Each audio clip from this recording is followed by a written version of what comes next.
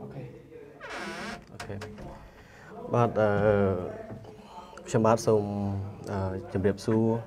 ហើយខ្ញុំករុណាសូមក្រាបថ្វាយបង្គំចំពោះប្រធានធរៈគ្រប់ព្រះអង្គសូមជម្រាបសួរដល់បងប្អូនជនរួមជាតិខ្មែរជាទីគោរពរាប់អានហើយសូមគោរព ដល់កម្មករកម្មការិនីកម្មករសំណង់ទាំងអស់ជាទីគោរពរាប់អានហើយថ្ងៃនេះផងដែរគឺជាថ្ងៃទី12ខែវិច្ឆិកាឆ្នាំ2018ត្រូវថ្ងៃទីថ្ងៃ5កើតខែកដឹកឆ្នាំចពុរសករាជ2562ហើយថ្ងៃនេះយើងមានវេក្មិនពិសេសគឺលោកយ៉ានធីដែលជាអគ្គលេខាធិការនៃសម្ព័ន្ធសហជីពកម្មករសំណង់និងប្រៃឈើនៅប្រជាជនចក្រកម្ពុជាហើយ យើងនឹងធ្វើការជជែកវិភាសាអំពីបញ្ហាប្រឈមរបស់កម្មករសំណង់នៅក្នុងប្រជាជនចក្រកម្ពុជាអឺដោយឡែកខ្ញុំបាទជាដំបូងសូមអញ្ជើញលោកយ៉ាន់ធីដើម្បីធ្វើសេចក្តីអឺ គៀទូទៅតកតងជាមួយនឹងបញ្ហាប្រឈមរបស់កម្មករសំណង់ហើយក៏ដូចជាណែនាំអំពីស្ថាប័នរបស់លោកដែលលោកកំពុងតែធ្វើការជាក់លាក់នៅក្នុងវិស័យសំណង់នៅក្នុងប្រជាជនកម្ពុជាតើវាមានបញ្ហាអ្វីខ្លះហើយចំពោះកម្មករសំណង់នៅក្នុងប្រជាជនកម្ពុជាដែលកំពុងតែធ្វើការនិងប្រតិបត្តិការនៅក្នុងប្រទេស បាទសូមអរគុណនិងសូមជម្រាបសួរដល់អ្នកទស្សនាទាំងអស់ជាពិសេសបងប្អូនកម្មករកម្មការិនីជាពិសេសគឺកម្មករក្នុងវិស័យសំណង់ខ្ញុំបាទយ៉ាន់ធីខ្ញុំជាកលិខាការរបស់សហព័ន្ធសហជីពកម្មករសំណង់ប្រជាកម្ពុជាហើយសហព័ន្ធរបស់យើងបានបង្កើតឡើងកាលពីខែវិច្ឆិកាឆ្នាំ2ឆ្នាំ2009ហើយសហព័ន្ធយើងធ្វើការជាមួយនឹងកម្មករសំណង់កម្មករសម្ភារៈសំណង់ កម្មករសំណង់សម័យនិងកម្មករសំណង់បុរាណដែលអ្នកជួសជុលប្រាសាទអីហ្នឹងហើយយើងឃើញថា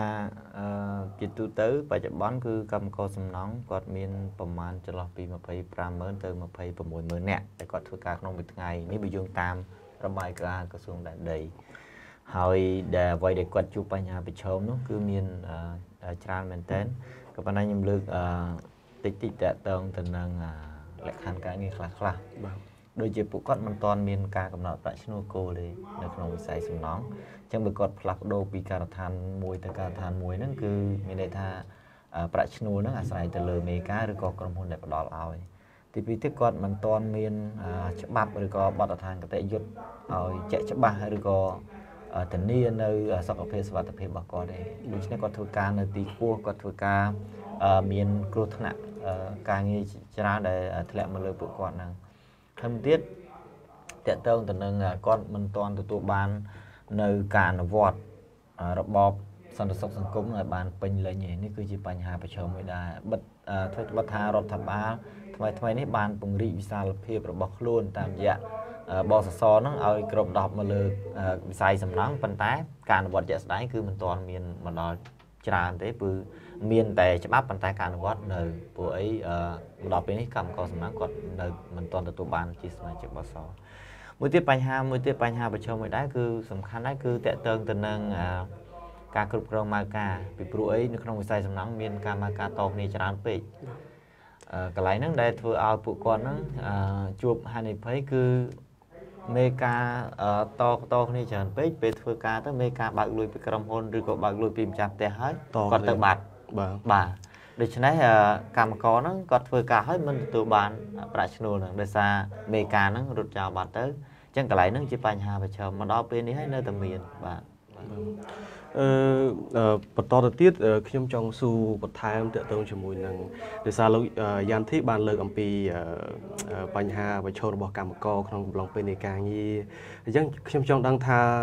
តើប្រមាណភាគរយដែលកម្មករហ្នឹងបានរងគ្រោះហានិភ័យកំឡុងពេលនៃការប្រតិបត្តិការងារអញ្ចឹងណាថាលោកមានទរណីបង្ហាញឬក៏មានអីដែលបង្ហាញថាកម្មករហ្នឹងក៏គ្រោះថ្នាក់ហើយតើគាត់ នៅពេលគ្រោះថ្នាក់តើនរណាដែលទទួលខុសត្រូវឬក៏ជាអ្នកម៉ៅការសំណងឬក៏នយោជកដែលជាអ្នកជួលពួកគាត់ឲ្យធ្វើការបាទសូមអរគុណសំណួរនេះគឺល្អមែនតើតើទៅនឹងការគ្រោះថ្នាក់របស់កម្មករសំណងអឺបើតាមរបាយការណ៍ដែលយើងស្រាវជ្រាវកាលពីឆ្នាំ2017គឺមានកម្មករសំណងអឺ ជាង90%ដែលធ្លាប់រងគ្រោះមានន័យថាទាំងគ្រោះថ្នាក់ស្រាលទាំងគ្រោះថ្នាក់ធ្ងន់បាទប៉ុន្តែភាគច្រើនគឺស្រាលស្រាលហ្នឹងគឺចង់និយាយថាព្រោះគាត់ធ្វើការក្នុងការដ្ឋានសំណង់ដូចថ្ងៃហ្នឹងអញ្ចឹងក្នុងមួយថ្ងៃហ្នឹងត្រូវតែមានម្នាក់ឬក៏ពីរនាក់នៅមួយការដ្ឋានក្នុងកន្លែងតែគ្រោះថ្នាក់តិចតែគ្រោះថ្នាក់ធ្ងន់ក៏មានដែរហើយក្នុងអឺឆ្នាំ2018នេះ គឺអឺយើងសរុបខ្ញុំសរុបរបាយការណ៍ខ្លះដែលខ្ញុំស្រង់ពីព័ត៌មានខ្លះពីបណ្ដាញសង្គម Facebook ពីសមាជិកសហជីពដែលគាត់នៅតាមការដ្ឋានហ្នឹងពីខែ1ដល់ខែ6ក្នុងឆ្នាំ2018ហ្នឹងមាន12ករណីដែលគ្រោះថ្នាក់ហើយបានបាត់បង់ជីវិតរហូតដល់15នាក់ដែលបានបាត់បង់ជីវិតកម្មករសំណង់ហ្នឹងយើងរាប់តែគ្រោះថ្នាក់កំពុងតែធ្វើការឯង កំពុងតែធ្វើការទៅ មាន បាក់ស្ររគាធ្លាក់ពីលើទីខ្ពស់មានបញ្ហាគ្រឿងចាក់អីហ្នឹងដែលបណ្ដាលឲ្យគាត់ស្លាប់ហើយព័ត៌មាននេះ12ករណីហ្នឹងត្រឹមខែ6នេះយើងមិនទាន់បូកសរុបទាំងគ្រោះថ្នាក់តាមផ្លូវពេលដែលគាត់ចេញពីធ្វើការទៅផ្ទះនិងពីផ្ទះទៅធ្វើការតាមច្បាប់ដែលគេហៅគ្រោះថ្នាក់ការងារមិនបូកបញ្ចូលនៅករណីគ្រោះថ្នាក់មួយចំនួនទៀតដែលក្រុមហ៊ុនរឿងអ្នកម៉ៅការគាត់បិទព័ត៌មានដែលមិនឲ្យព័ត៌មានចេញអញ្ចឹងនៅក្នុងការវិស័យសំណង់បើថាមានកន្លែងហ្នឹងមានគ្រោះថ្នាក់ភាគច្រើននយោជកឬក៏តកែហ្នឹងគាត់ព្យាយាមបិទព័ត៌មានអត់ឲ្យព័ត៌មាននឹងចេញទេដែលហេតុផលខ្លាចខូចគេឈ្មោះ credit របស់អាគាររបស់សំណង់របស់គាត់របស់អ្នករស់ស៊ីបាទរបស់អ្នករស់ស៊ីអញ្ចឹងព័ត៌មានដែលយើងទទួលបានគឺតិចមែនតែនហើយខ្ញុំឃើញគ្រោះថ្នាក់ហ្នឹងភាគច្រើនគឺបញ្ហាការបាក់ស្រោតអាគារមាន25% ដែលបណ្ដាលឲ្យគ្រោះថ្នាក់ហើយមានមួយទៀតការប្រើប្រាស់សម្ភារៈបច្ចេកទេសដូចជាយានយន្តពីព្រោះប្រទេសយើងកំពុងអភិវឌ្ឍវិស័យសំណង់រីកចម្រើនប៉ុន្តែអាគ្រឿងចាក់នៅក្នុងវិស័យសំណង់ហ្នឹងដូចជាគ្រឿងស្ទូចគ្រឿងអីហ្នឹងអឺភាគច្រើនរបស់មទឹកមទឹកបាទមកពីស្រុកគេដូចជាដូចអញ្ចឹងទៅបច្ចេកទេសហើយនឹងកម្មករដែលគាត់ប្រើហ្នឹងជំនាញគាត់នៅតិចតួចអញ្ចឹងការប្រើប្រាស់ទៅមានបញ្ហាដែលនាំឲ្យគ្រោះថ្នាក់ដែរហើយក្រៅពីនឹងទៀតដូចជាមានអឺ ធ្លាក់ពីលើទីខ្ពស់គួយគួយច្រើនដែរមាន25%ដែរក្នុង12ករណីដែលភាគច្រើនធ្លាក់ពីលើទីខ្ពស់មកបណ្ដាលឲ្យបាត់បង់ជីវិតហើយកន្លែងហ្នឹងបើសិនជាមានខ្សែក្រវ៉ាត់គាត់ធ្វើការទីខ្ពស់ប្រហែលជាគាត់មិនមានគ្រោះថ្នាក់ដែរប៉ុន្តែដោយសារគាត់ធ្វើការងារទីខ្ពស់ហើយមិនមានសម្ភារៈការពារគឺខ្សែក្រវ៉ាត់សុវត្ថិភាពដែលគាត់ធ្វើការងារទីខ្ពស់អញ្ចឹងបណ្ដាលឲ្យគាត់គ្រោះថ្នាក់ហើយក្នុងនោះក៏មានដែរឆក់ឆក់ចរន្តអគ្គិសនីបាទឆក់ខ្សែភ្លើងហ្នឹងគឺមាន16%ដែរដែរ បាទហើយចូលបន្តសំណួរដែលខ្ញុំសួរខាងដើមថាអ្នកដែលទទួលខុសត្រូវទាក់ទងជាមួយនឹងការធានាអាយុជីវិតរបស់កម្មករតើសប្តាហ៍ថ្ងៃហ្នឹងខាងវិស័យសំណង់មានសហជីពដោយបងធ្វើការផ្ទាល់ជាមួយនឹងកម្មករសំណង់អញ្ចឹងបងអាចដឹងពីអ្នកដែលជួលកម្មករទៅធ្វើប៉ុន្តែគាត់មានលក្ខខណ្ឌការងារមួយចំនួនតើសម្រាប់លក្ខខណ្ឌការងាររបស់កម្មករសំណង់តើមាន ហើយឬនៅតាមបណ្ដាក្រុមហ៊ុនមួយចំនួនឬក៏តាមអ្នកដែល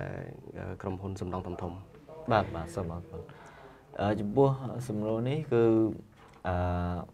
តកតងនឹងការទទួលខុសត្រូវខ្ញុំគិតថាពិបាកក្នុងការរកទទួលខុសត្រូវក្នុងករណីដែលមានកម្មករសំណងគាត់គ្រោះថ្នាក់មេការឬក៏ឬក៏ក្រុមហ៊ុននឹងព្យាយាមឆ្លោយយកលេសឆ្លោយយករុកលឹកខ្លួនតម្លាក់ទៅអ្នកនេះហោទៅអ្នកនោះដោយសារអី ដូចខ្ញុំលើកឡើងពីដើមដោយសារវិស័យសំណង់មានអ្នកមកការច្រើនបាទអញ្ចឹងមានមកការ A មាន B មាន C អញ្ចឹងអេខ្ញុំមិនដឹងទេក្រុម A អូរឿងហ្នឹងក្រុម B ឬក៏ហើយមួយចំនួនហ្នឹងពេលដែលកម្មករគ្រោះថ្នាក់ច្រើនទៅតម្លាក់កំហុសមកថាដោយសារកម្មករធ្វើការធ្វើប្រហែសបាទប៉ុន្តែយើងមើលក្នុងស្មារតីច្បាប់ស្តីពីការងារគឺគ្រោះថ្នាក់ការងារការឡើងហ្នឹងគឺទោះដោយកំហុសរបស់កម្មករក៏ដោយចង់មានន័យអញ្ចឹងចង់ចង់មានន័យថា ពេលកម្មករគាត់ធ្វើការណាគ្មានអ្នកណាគាត់ទៅចង់គ្រោះថ្នាក់ទេជួនកាលឧទាហរណ៍គាត់ញោះគ្នាបន្លែងគ្នាអីតិចតួចប៉ុន្តែគាត់មិនមែនមានចេតនាចង់ឲ្យគ្រោះថ្នាក់ចង់ឲ្យធ្លាក់ពីលើនន្ទាមិនចឹងគ្មានអ្នកណាចង់បាក់ដៃបាក់ជើងចង់បាត់បង់ជីវិតទេប៉ុន្តែដល់ពេលមានគ្រោះថ្នាក់យើងរកអ្នកទទួលខុសត្រូវអត់ឃើញហើយដោយសារច្បាប់របស់យើងមានការចន្លោះប្រហោងទៅទៀតហ្នឹងគឺកម្មករគាត់រងគ្រោះ រងគ្រោះពេលគ្រោះថ្នាក់មានបញ្ហាហើយពេលដែលគ្រោះថ្នាក់ត្រូវទៅព្យាបាលខ្លួនឯងត្រូវទៅពេទ្យខ្លួនឯងខ្ញុំនិយាយនេះមួយចំនួនមួយចំនួនណាប៉ុន្តែមានក៏មានក្រុមហ៊ុនដែលគេទទួលខុសត្រូវខ្លះដែរគេអាចយកទៅពេទ្យយកទៅថ្លៃចេញថ្លៃព្យាបាលដែរប៉ុន្តែបើសិនជាកម្មករដែលមិនមានសហជីពជួយទេប្រហែលជាពិបាក ហើយខ្ញុំឧទាហរណ៍មានអាគារខុនដូខ្ពស់មួយនៅជិតកោះពេជ្រដែលគាត់គ្រោះថ្នាក់ហើយគាត់ជាសមាជិកសហជីពពីដំបូងហ្នឹងគឺយកទៅដាក់នៅកាឡាម៉ែតចោលតែម្ដងអត់មានទេប៉ុន្តែបានសមាជិកយើងតំណែងតំណងមកខាងខ្ញុំមកខ្ញុំក៏ទៅមានមេធាវីមានអីទៅទៅមើលគាត់ដល់ពេទ្យហ្នឹងហើយក៏បានតាក់ទងទៅក្រុមហ៊ុនទៅក្រុមហ៊ុនក៏បានប្រាប់មកពេទ្យឲ្យពេទ្យនឹងព្យាបាលក្រុមហ៊ុនចេញលុយឲ្យគិតលុយថ្ងៃឲ្យគាត់ទៀតប៉ុន្តែដោយសារនេះមានអន្តរាគមពីខាងយើងនិងពីខាងមេធាវីរបស់អង្គការ ប៉ុន្តែក្នុងករណីដែលគាត់អត់មាន គឺចប់ហើយគឺមិនគាត់មិនទទួលបានហើយហើយមួយទៀតក្នុងករណីកម្មករសំណងដែលគ្រោះថ្នាក់រហូតដល់ស្លាប់ភាគច្រើនគាត់មិនទទួលបានអត្ថប្រយោជន៍តាមការលើកតាមច្បាប់ឬក៏តាមបទបញ្ញត្តិរបស់បេឡាជារបបសន្តិសុខសង្គមឯងគឺគាត់ទទួលបានថវិកាជាកញ្ចប់មួយពីក្រុមហ៊ុន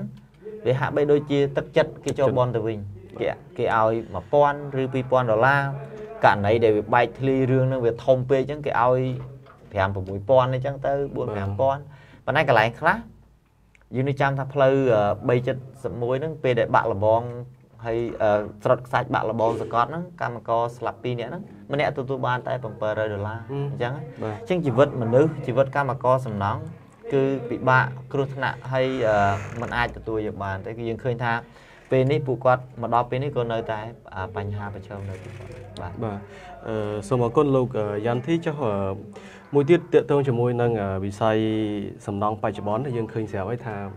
វិស័យសំណង់គឺកើនហើយរីកដូចផ្សិតអញ្ចឹងនៅទីក្រុងភ្នំពេញយើងណាហើយបើនិយាយទៅវាមិននៅទីក្រុងភ្នំពេញតែម្យ៉ាងទេគឺទៅតាមខេត្តមួយចំនួនក៏រីកដែរវិស័យសំណង់អឺ ហើយដូច្នេះខ្ញុំចង់សួរបន្តតកតងជាមួយនឹងវិស័យសំណង់កម្មករសំណង់ខ្ញុំគិតថាខាងកម្មករសំណង់ហ្នឹងគាត់បានរួមចំណែកយ៉ាងច្រើននៅក្នុងការជួយរកថវិកាបន្ថែមបងតាមរយៈការបងពុនដល់ជនរដ្ឋអីចឹងណាអឺដូច្នេះខ្ញុំចង់បញ្ជាក់ទៅលោកយ៉ាន់ធីថាតើលោកមានគោលគំនិតហើយគោលផ្នែកគំនិតយ៉ាងណាដើម្បីគៀងគោឲ្យកម្មករហ្នឹងគាត់ បានចូលរួមហើយស្វែងយល់បន្ថែមអំពីអត្ថប្រយោជន៍អ្វីជាធម្មតាមនុស្សមួយចំនួនគាត់តែតែគិតថាអ្នកខ្លះថាដោយសារខ្ញុំជាកម្មករវាអត់មានឱកាសដើម្បីមានសិទ្ធិទាមទារសិទ្ធិសេរីភាពឬក៏សិទ្ធិវិជ័យមតិដើម្បីទាមទាររកអត្ថប្រយោជន៍ណាមួយពីរដ្ឋាភិបាលអញ្ចឹងណាអញ្ចឹងក្នុងនាមលោកយ៉ានធីដែលជាអ្នកសម្របសម្រួលខាងសហជីពហើយខាងវិស័យសំណង់ផងដែរតើលោកមានកំណត់យ៉ាងណាហើយប្រផុសដល់កម្មករសំណង់ហើយនិងអ្នកពាក់ព័ន្ធទាំងអស់ហ្នឹងតើគួរធ្វើយ៉ាងម៉េចដើម្បីឲ្យពួកគាត់ហ្នឹងយល់កាន់តែច្បាស់អំពី វិស័យនេះហើយដោយដោយបង្ហាញថាគាត់ហ្នឹងគឺជាជាផ្នែកមួយនៃការវិភាគកទៀនចូលសង្គមដែរអញ្ចឹងណាហើយដើម្បីឲ្យវាស៊ីមេត្រីគ្នាឲ្យវាបលិនគ្នាអញ្ចឹងណាឲ្យវាសមស្របគ្នាតើលោកមានកំណត់យ៉ាងណាហើយមានទស្សនវិស័យបន្ថែមទៅលើចំណុចនេះបាទសូមអរគុណចំពោះសំណួរឬក៏ជាមតិយោបល់ដែលមានអត្ថន័យនេះ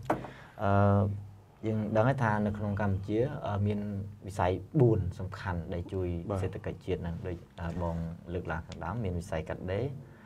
កសិកម្មទេសចរនិងសំណង់ហើយវិស័យកាត់ដេរនៅលេខរៀងទី1ហើយបន្ទាប់ពីកាត់ដេរយើងឃើញថាប្រហែលជាវិស័យសំណង់ហ្នឹងដែលជួយជំរុញសេដ្ឋកិច្ចជាតិហើយប៉ុន្តែដល់ពេលយើងក៏លេខមើលលក្ខខណ្ឌការងារកម្មករសំណង់យើង ឃើញទាំងអស់គ្នាគឺថាមានបញ្ហាបើទោះបីជាយើងមិនមែនជាកម្មករសំណង់ប៉ុន្តែយើងអាចមើលឃើញថាពួកគាត់ជួបបញ្ហាអីខ្លះប្រឈមអីខ្លះហើយអាចនឹងច្រើនឬក៏បញ្ហាតូចតូចបន្ថែមទៀតច្រើនដែលខ្ញុំរៀបរាប់ពីពីខាងដើមមិនអស់បងបាទចំពោះគោលការណ៍ដែលយើងចង់ឲ្យមានការយកចិត្តទុកដាក់ទៅលើវិស័យសំណង់នេះគឺចាប់តាំងពីសហព័ន្ធយើងបានបង្កើតឡើងគឺយើងមានផែនការយុទ្ធសាស្ត្រដើម្បី ធ្វើយ៉ាងណាទាមទារឲ្យរដ្ឋាភិបាលគាត់យកចិត្តទុកដាក់មកលើវិស័យសំណង់ខ្ញុំឧទាហរណ៍ថាកន្លងមកគឺមានទិវាពលកម្មអន្តរជាតិឬក៏ទិវាសិទ្ធិមនុស្សអន្តរជាតិថ្ងៃ10ធ្នូអីយើងតែងតែហែក្បួនយើងតែងតែដាក់ញត្តិឬក៏សំណើទៅរដ្ឋសភាជាតិនិងទីស្តីការគណៈរដ្ឋមន្ត្រីនិងក្រសួងការងារដើម្បីឲ្យគាត់ដោះស្រាយបញ្ហាប្រឈមដែលបានលើកឡើងហ្នឹងហើយយើងព្យាយាមជាច្រើនឆ្នាំហើយ អញ្ចឹងបានមកដល់ពេលនេះយើងឃើញថាមានផ្លែផ្កាតិចតួចដែរប៉ុន្តែយើងមិនមោទនភាពថាវាជាអ្វីជារបស់យើងទេប៉ុន្តែយើងបានខិតខំធ្វើការមានការគម្រាមកំហែងមានការចោទប្រកាន់ពីសំណាក់អាជ្ញាធរមានការស្អប់ខ្ពើមពីក្រុមហ៊ុនអីចឹងហើយជួនកាលទៅយើងហែអញ្ចឹងទៅមានគេរារាំងយើងដឹងថាសិទ្ធិក្នុងការបញ្ចេញមតិរបស់យើងហ្នឹងត្រូវបានរដ្ឋបတ်ហើយ ក្នុងពេលហ្នឹងគឺមកដល់ពេលនេះគឺយើងមានសក្តីព្រៀងច្បាប់ស្តីពីប្រាក់ឈ្នួលគោលថ្នាក់ជាតិចឹងខ្ញុំគិតថាអឺនៅពេលខាងមុខរដ្ឋាភិបាលគាត់នឹងអាចពង្រីកវិសាលភាពក្នុងការអនុម័តឲ្យមានការកំណត់ប្រាក់ឈ្នួលគោលនឹងមកវិស័យសំណង់ដែរមកលើវិស័យសំណង់ហើយមួយទៀតយើងទទួលបានថ្មីថ្មីនេះគឺពង្រៀងស្ដីអំពីប្រកាសពង្រៀងប្រកាសស្ដីអំពីសុខភាពសុវត្ថិភាពហ្នឹងឬក៏សម្ភារៈការពារបុគ្គលហ្នឹងប្រកាសហ្នឹងអញ្ចឹងអឺ គឺយើងរងចាំប្រកាសនេះជាច្រើនឆ្នាំហើយយើងក៏បានដាក់សំណើទាមទារច្រើនឆ្នាំដែរប៉ុន្តែមកដល់ពេលនេះនៅតែជាពង្រៀងទេគឺមិនទាន់បានអនុម័តទេអញ្ចឹងគិតថាបើសិនជាខាងនៅពេលខាងមុខរដ្ឋាភិបាលគាត់អនុម័តប្រកាសនេះឲ្យចេញគឺការអនុវត្តយើងនឹងចូលរួមចំណែកក្នុងការជំរុញការអនុវត្តហើយមួយទៀតអឺកម្មករសំណង់ជួបបញ្ហាប្រឈមយើងត្រូវការអ្នកយកចិត្តទុកដាក់យើងត្រូវការអ្នករកដំណោះស្រាយបាទ ក៏ប៉ុន្តែមុននឹងយើងពឹងឲ្យគេជួយយើងក៏ត្រូវចេះជួយខ្លួនឯងដែរខ្ញុំឧទាហរណ៍មួយទៀតថាកម្មករសំណង់ជាក់ស្ដែងគឺមានប្រហែលជា250,000ទៅ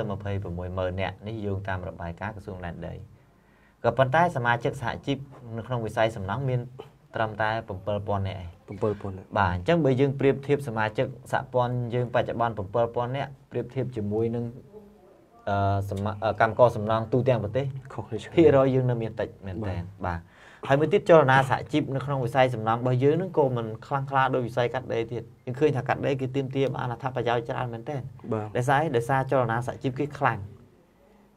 កម្មករកាត់ដេរសិតតែស្រីស្រីប៉ុន្តែគេខ្លាំងបាទហើយគេធ្វើការរួមគ្នាតាំងពីដើមមកយើងឃើញមានការតស៊ូច្រើនមែនតើបានជាគាត់ទទួលបានប្រាក់ឈ្នួលគោលអត្ថប្រយោជន៍មកដល់ពេលបច្ចុប្បន្នហ្នឹង ប្រែកម្មករសំណងសិតតែប្រុសប្រុសប៉ុន្តែមិនទាន់ទទួលបានអញ្ចឹងមានន័យថាការចូលរួមសហជីពនឹងនៅមានកម្រិតអញ្ចឹងដូចជាថ្ងៃនេះអញ្ចឹងគឺយើងក៏សូមអរគុណខាងអង្គការសង្ត្រាល់ដែរដែលបានអញ្ជើញខ្ញុំបានមកជជែកគ្នាពិភាក្សារឿងបញ្ហាកម្មករសំណងហើយក៏ដូចជា បានផ្សព្វផ្សាយអំពីគោលនយោបាយដើម្បីឲ្យកម្មករសំណងជួនកាលទៅសម័យនេះភាគច្រើនគាត់មាន Facebook ហើយគាត់អាចមើលឬក៏ពេល live ចប់ទៅគាត់អាចមើលមើលបានពេលដែល live ចប់ក៏មានវីដេអូនៅសល់អញ្ចឹង គាត់មានចម្ងល់ឬក៏មានអីអាចតម្លាក់ទំនងមកបានតាមរយៈអាចអាចសួរតាមអាចសួរតាមរយៈ live show នេះក៏បាន comment អាចសួរតាម live ហ្នឹងក៏បានឬក៏អាចដាក់លេខអីចឹងមកយើងតំណាក់តំណងទៅវិញក៏បានហើយដូចខ្ញុំនិយាយថា បើសិនជាសមាជិកយើងនៅតិចយើងអត់តន់ទៀមទាអីទៅបានទេរដ្ឋាភិបាលគាត់មិនសូវយកចិត្តទុកដាក់ទេយើងធ្លាប់ទៅដែរទៅទៅមុខរដ្ឋសភា3 400នាក់ដែរប៉ុន្តែគេមិនតន់យកចិត្តទុកដាក់ដោយសារយើងនៅគ្នាតិចឥឡូវយោយោងតាមលោកយ៉ាន់ធីលោកបានលើកមកបំបញ្ញគឺកម្មករនៅក្នុងសហជីពគឺ7000នាក់អញ្ចឹងណា7000នាក់នៅក្នុងចំណោម250,000នាក់ទៅ300,000នាក់ដែលជាកម្មករហើយ7 7000នាក់ហ្នឹងតើកម្មករដែលជាអ្នកដែលមានជំនាញនិងអ្នកដែលអត់មានជំនាញអាហ្នឹងប្រហែលភាគរយដែរដែលយើងបែងចែកទៅលោកបានបែងចែកទេថាភាគរយមានប្រហែលអីប្រហែលអឺចំនួនសមាជិកយើងយើងអត់បានបែងចែកអ្នកជំនាញនិងអ្នកអត់ជំនាញទេប៉ុន្តែភាគច្រើនកម្មករទៅធ្វើការ3ខែទៅមួយឆ្នាំគឺមានជំនាញកម្មករសម្រាប់ទោះជាគាត់រៀបអត់ក៏មានជំនាញមួយដែរគាត់ទៅក្លុកស៊ីម៉ងក៏មានជំនាញបានក្លុកស៊ីម៉ងបានប៉ុន្តែយើងបែងចែកចេះយើងបែងចែកចាំមនុស្សចាស់ហើយនិងយុវជនបាទ ចឹងយើងរកឃើញថាចន្លោះពីអាយុ18ដល់35ចន្លោះអាយុជនចន្លោះអាយុជាយុវជនហ្នឹងគឺមាន82.3%នៅក្នុងសមាជិករបស់យើងចឹងយើងរកឃើញថាប្រហែលយើងគិតថាក្នុងវិស័យសំណង់ហ្នឹងកម្មករទូទៅប្រហែលជាមិនខុសគ្នាចន្លោះពីអ្វីដែលយើងរកឃើញនៅក្នុងសមាជិកឯងហើយនៅក្នុងហ្នឹងគឺយើងរកឃើញថា67%គាត់ជាបុរស ហើយ33%ជាស្ត្រីបាទនេះយើងរកឃើញអញ្ចឹងប៉ុន្តែបើបែងចែកជំនាញយើងអត់អត់បានបែងចែកណាបាទបាទចុះសម្រាប់ភាគរយនៃដែលខាងសហគមន៍សហជីពរកបានរកឃើញហ្នឹងតើចន្លោះនៃប្រាក់ឈ្នួលប្រចាំថ្ងៃរវាងបុរសស្ត្រីតើវាកម្រិតគ្នាយ៉ាងម៉េចដែរហើយតើអឺ ស្ត្រីគាត់មាន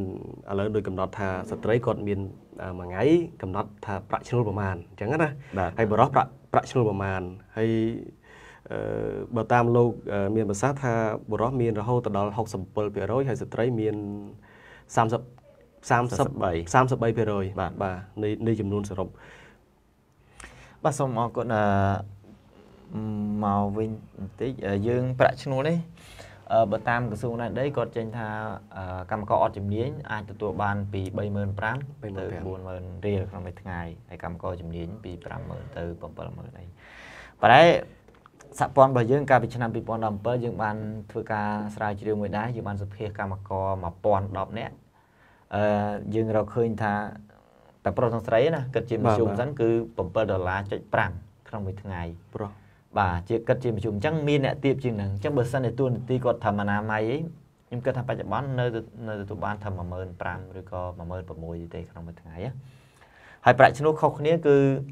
អឺកម្មករស្ត្រីយើងរកឃើញថាគាត់ទទួលបាន5ដុល្លារចុច 5ក្នុងមួយថ្ងៃហើយបរោះគឺ8.3ក្នុងមួយថ្ងៃនេះយើងរកឃើញបាទនៅក្នុងឆ្នាំ2017គិតជាមធ្យមបងអញ្ចឹងមានអ្នកខ្ពស់ជាងនឹងនិងមានអ្នកទាបជាងនឹងបាទបាទហើយមួយទៀតអឺបើប្រាក់ឈ្នួលហ្នឹងយើងរកឃើញហើយនឹងក្រសួងប្រហែលជាមិនសូវខុសគ្នាប៉ុន្មានណាមិនកម្រិតគ្នាឆ្ងាយប្រហែលទេអឺយើងរកឃើញថា7ដុល្លារចុច5វាគួរសមដែរណាសម្រាប់គិតជាមធ្យមប៉ុន្តែគាត់មិនទទួលបាន ពេញទេប្រាក់ខែរបស់គាត់គឺយើងរកឃើញថាជាមធ្យមគាត់ទទួលបានមួយខែហ្នឹងចំណូលរបស់គាត់បាន180ដុល្លារ180ដុល្លារបាទ180ដុល្លារហើយបើសិនជាមានអត្ថប្រយោជន៍អីតិចតួចទៅបានតែ190ទេបាទអញ្ចឹងគឺនៅនៅទៀបមែនតើហើយយើងឃើញថាបើសិនជា7ដុល្លារអឺមួយខែគាត់អាចរក210ដុល្លារយើងគិតតែ7ដុល្លារចឹងណាបាទថ្ងៃប៉ុន្តែកម្មករសំណងអត់ធ្វើការអញ្ចឹងទេអត់ធ្វើការ ពេញអឺ26ថ្ងៃឬក៏30ថ្ងៃក្នុងមួយខែជួនទៅគាត់ចាក់ប្លង់សេចាក់តសហើយអញ្ចឹងទៅ សម្រាប់3 4ថ្ងៃអត់លុយបាត់ហើយបាទបាទហើយថ្ងៃអាទិត្យគាត់អត់ធ្វើការអត់លុយថ្ងៃបុណ្យសម្រាប់បុណ្យទានធំធំក៏ដោយគាត់អត់ទៅធ្វើការអត់លុយអត់លុយអត់ដូចក្នុងវិស័យកាត់ដេរចឹងកន្លែងហ្នឹងដែលចំណូលជាប្រចាំខែរបស់គាត់ហ្នឹងគឺនៅមានតិចមែនតើហើយបើយើងនិយាយអំពីអត្ថប្រយោជន៍វិញ កាន់តែឆ្ងាយទៅទៀតស្ត្រីពេលមានផ្ទៃពោះនៅក្នុងវិស័យកាត់ដេរទទួលបានការជួយសម្រាកលំហែមិត្តភាព3ខែមានប្រាក់ឧបត្ថម្ភ50%បសថែម70%ទៀតសួរតកម្មករសំណងបានទេអត់ទេអត់បានថ្លៃស្នាក់នៅក៏អត់ទទួលបាន បានយ៉ាងច្រើនរោងកម្មករបិទតង់វាយកុំផ្លាក់កេនៅជួជួដង្ហែមួយគ្នាហ្នឹងទៅ បាទនៅចឹងបានប៉ុន្តែមជ្ឈបាយធ្វើតាណាថ្លៃមជ្ឈបាយធ្វើតាណាក៏អត់មានអឺ សហួយថ្នាក់នៅក៏អត់មានលួយបាយក៏អត់មានបាទអញ្ចឹងអត្ថប្រយោជន៍គឺគាត់មិនទទួលបានដូចនៅក្នុងវិស័យកាត់ដេរទេបាទ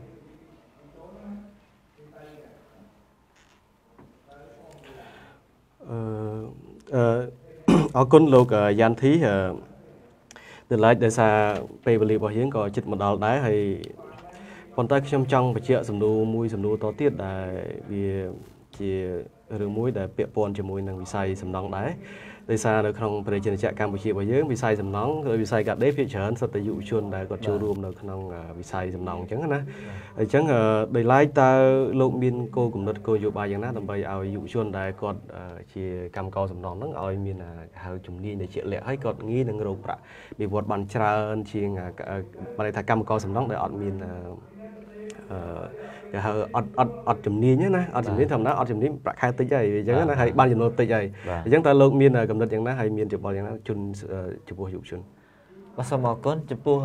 យុវជនអឺនៅ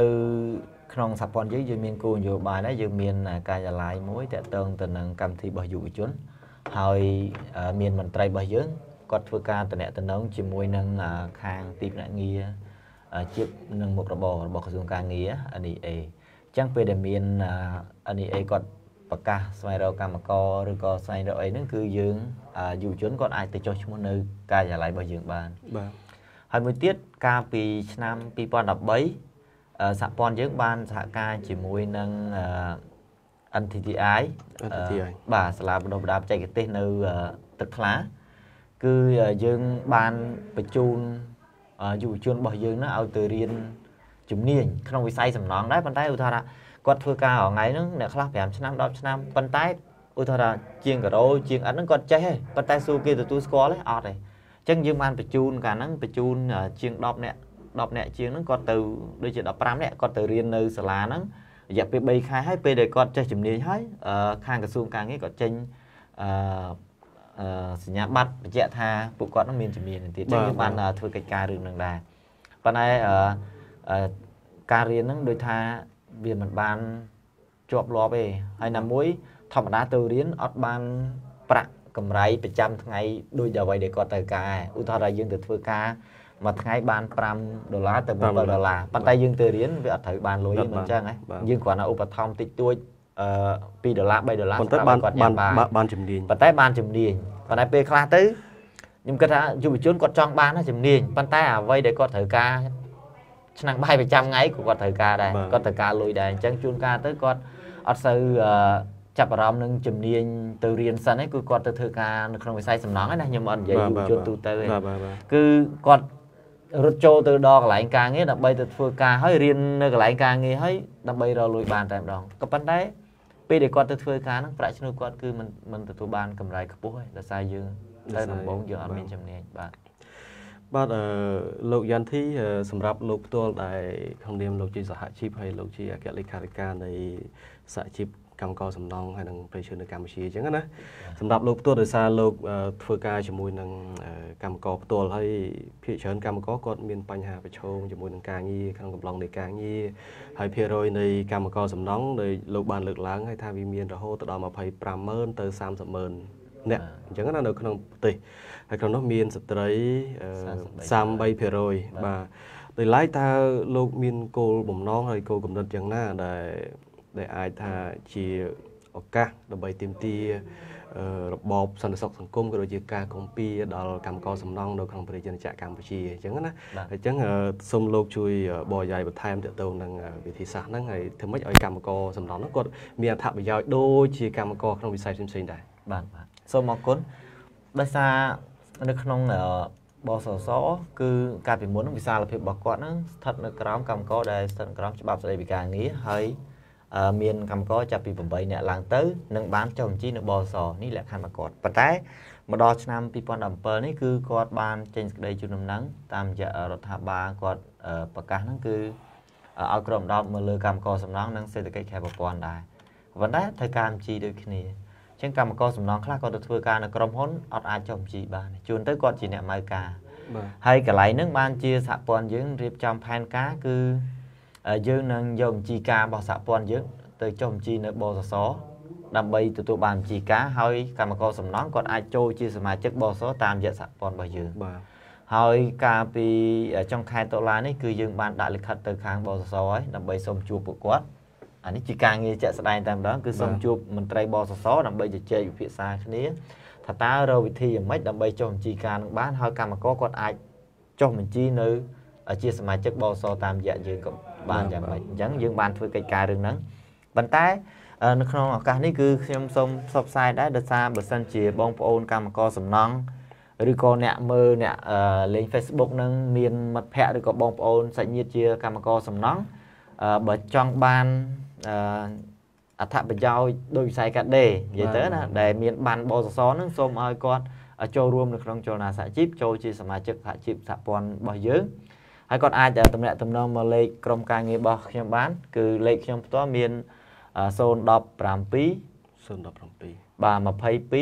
81និង23ហើយ smart 098 22 81និង23ហើយលេខប្រធានរបស់ខ្ញុំគឺ012 73 62 70បាទលេខ3 4ខ្សែហ្នឹងគាត់អាចតាក់ទងបានឬក៏អាចខមមិនចូលនៅក្នុងសងត្រាក៏បានដែរខ្ញុំនឹងពេល ទៅនេះខ្ញុំនឹងចូលមើលវីដេអូ live នេះហើយអញ្ចឹងគាត់អាចខមមិនលេខមិនអីមកអាចយើងអាចតាក់ទងគ្នាបានហើយបើសិនជាយើងអត់ខិតខំ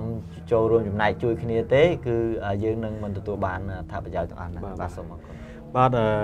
អរគុណលោកយ៉ាន់ធីសម្រាប់ពេលវេលាដ៏មានតម្លៃហើយចូលរួមជាមួយនឹងកិច្ចវិភាសាទាក់ទងជាមួយនឹងប្រធានបទទាក់ទងបញ្ហាប្រឈមរបស់កម្មករសំណងនៅក្នុងកំឡុងពេលនៃការប្រតិបត្តិការការងារនៅក្នុងប្រជាជនកម្ពុជាយើងឃើញហើយថានៅក្នុងប្រជាជនកម្ពុជា មានកម្មករសំណងរហូតដល់250000ទៅ300,000នាក់ដោយអ្វីដែលលោកយ៉ាន់ធីបានលើកឡើងហើយក្នុងនោះគឺស្ត្រីមានរហូតដល់33%នៃកម្មករសំណងហើយបើយើង និយាយឲ្យចំទៅគឺភាគច្រើនគាត់អត់សូវមានជំនាញទេកម្មករស្ត្រីហើយគាត់ចំណាក់ស្រុកមកពីជនបទមករកការងារធ្វើនៅទីក្រុងភ្នំពេញហើយជាចុងក្រោយនេះខ្ញុំបាទសូមថ្លែងអំណរអគុណលោកដល់លោកចន្ទយ៉ានចន្ទធីសារពេលវេលាបានមកដល់ហើយហើយក៏បានដល់ពេលវេលាត្រូវបញ្ចប់ហើយសង្ឃឹមថាវគ្គក្រោយយើងនឹងជជែកបន្ថែមទាក់ទងជាមួយនឹងអត្ថប្រយោជន៍នៃកម្មករសំណង់នៅក្នុងប្រជាជាតិកម្ពុជាទាក់ទងជាមួយនឹង ការទទួលបាននៅបសសហើយទៀមទាបសសសម្រាប់ឲ្យពួកគាត់ដើម្បី ការការពារសុខភាពក្នុងកំឡុងពេលនៃការងារហើយជាចុងក្រោយខ្ញុំបានសូមគោរពលាហើយសូមអរគុណសម្រាប់ប្រិយមិត្តអ្នកស្ដាប់ទាំងអស់បាទសូមអរគុណសូមជម្រាបលាបាទសូមអរគុណ